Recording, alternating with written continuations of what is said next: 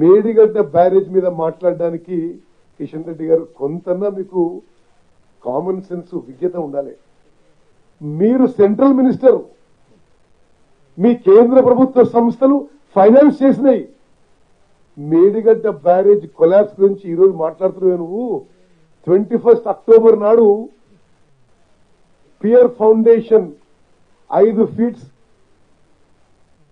Five feet collapse అయిపోయినప్పుడు మీరు visit చేసిండ్రా? మరి ట్వంటీ ఫస్ట్ అక్టోబర్ అంటే ఇరవై ఏం తారీఖు? జనవరి రెండో తారీఖు. కేంద్ర ప్రభుత్వం ఫైనాన్స్ చేసిన ప్రాజెక్టు తమరు కేంద్ర మంత్రి మరి ఇన్ని నెలలు ఇన్ని వారాల పాటు తమరెందుకు విజిట్ చేయలేదు? ఆ రోజు ట్వంటీ ఫస్ట్ అక్టోబర్ నుంచి థర్డ్ నవ డిసెంబర్ రిజల్ట్స్ వచ్చినాయి. ఏడు అనుకుంటాం ఆ ప్రమాణ స్వీకారం. ముఖ్యమంత్రి కల్వకుంట్ల చంద్రశేఖరరావు గారు నోరు మెదపలేదు. మీరు ఎందుకు ప్రశ్నించలేదు మేము అవుతున్నా మీరు ప్రశ్నించలేదు. మీరు విజిట్ చేయలేదు. కనీసం కుంగిపోయిన మేడిగడ్డ బ్యారేజ్కి విలేకరులను కూడా అనుమతించకుంటే మీరు మాట్లాడలేదు. మొదటిసారి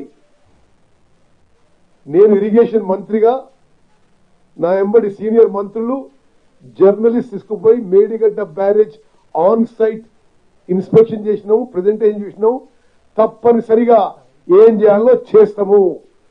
వీఆర్ కమిటెడ్ ముఖ్యమంత్రి రేవంత్ రెడ్డి గారి నాయకత్వంలో కాంగ్రెస్ ప్రభుత్వం పారదర్శకత అవినీతి రహితమైన పరిపాలన మరి కొనసాగిస్తాం. తప్పనిసరిగా ఎవరు తప్పులు చేసినా మేము వదిలిపెట్టమని చెప్పి మరోమారు నేను మనం చేస్తున్నా. అదేవిధంగా ఈ Kaleshwaram project central water commission ఎనభై వేల కోట్ల ఎనభై వేల కోట్ల ఎస్టిమేట్స్తో మంజూరు చేసినప్పుడు మళ్ళీ మీ కేంద్ర ప్రభుత్వ సంస్థల దగ్గరనే రీఇంజనీర్డ్ రీడిజైన్డ్ అడిషనల్ ఫైనాన్స్తో మీరు పోయిన ప్రాజెక్టులకి ఎట్లా మీరు అనుమతించిండ్రు ఎనభై వేల కోట్ల ప్రాజెక్టు వాళ్ళు one point two seven lakh క్రోర్స్కి పెంచి పెంచిన ప్రాజెక్టు కూడా కేంద్ర ప్రభుత్వ సంస్థలే పైసలు ఇచ్చినాయి. మీ పిఎఫ్సి పవర్ ఫైనాన్స్ కార్పొరేషన్ మీ రూరల్ ఎలక్ట్రిఫికేషన్ కార్పొరేషన్ మీ అధిపక్షుల బ్యాంకులు మరి ఈరోజు మమ్మల్ని ఏదో బదనాం చేసే ప్రయత్నం చేస్తున్నారు. ఇది టోటలీ ఫాల్స్ తప్పనిసరిగా మేము ఏ మాట చెప్పినామో ఆ మాటకి కట్టుబడి ఉన్నామని చెప్పి నేను మనం చేస్తున్నా. అదేవిధంగా మీరు ఏదో సిబిఐ ఈడీ ఏదో మాట్లాడుతున్నారు. మీరు ప్రతిపక్షంలో ప్రతిపక్ష పార్టీలు ప్రభుత్వంలో ఉన్న కర్ణాటకలో హిమాచల్ ప్రదేశ్లో వెస్ట్ బెంగాల్లో మరి ఢిల్లీ ప్రభుత్వంలో ఎవరి అనుమతితో అక్కడున్న ఈ దేశంలో ఉన్న ప్రతిపక్ష పార్టీ నాయకులు అందరినీ సుమారు సుమారు మీరు కేసులు వేసిండ్రు. మీరు చాలా మంది జైల్లో వేసిండ్రు.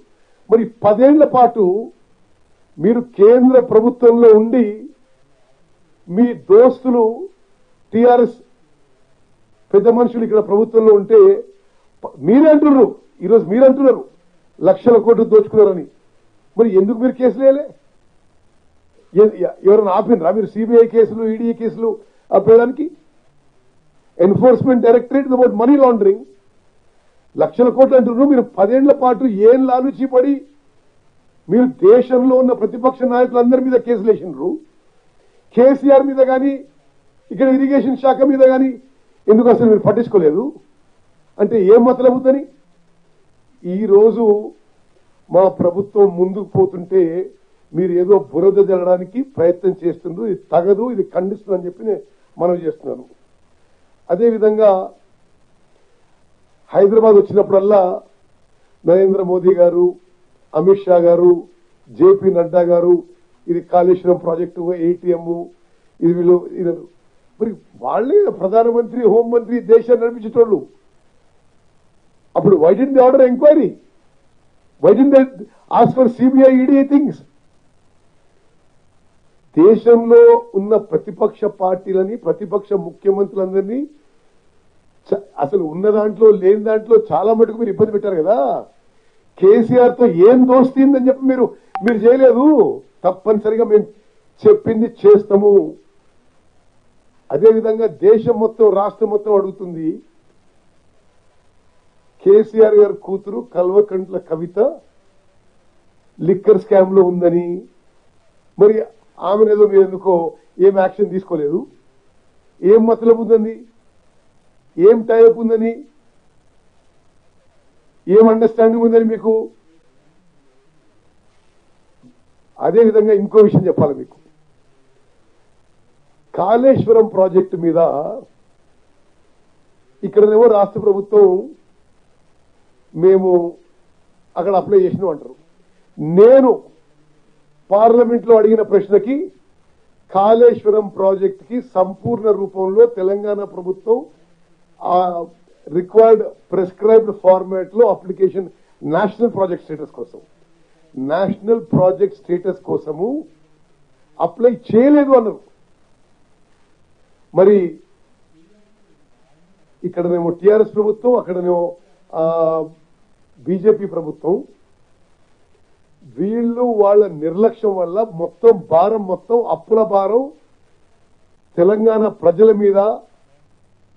మరి ఇప్పటికీ బావి తరాల మీద పడ్డ విషయం కూడా అది మీ అసమర్థత మీ నిర్లక్ష్యం అని చెప్పి నేను గుర్తు చేస్తున్నా